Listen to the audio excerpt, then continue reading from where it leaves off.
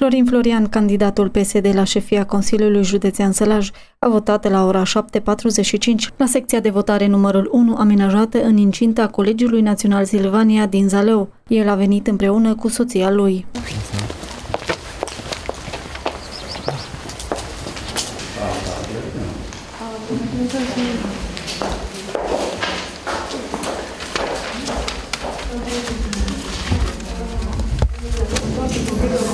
Cu ce gânduri la vot astăzi, domnul În primul Florian? și în primul rând uh, cu multă încredere, iar la județ uh, cu multă, multă încredere pentru cei care consider ca un proiect pentru județul Sălaș și pentru dezvoltarea lui. Mulțumesc tare frumos, Doamne ajută!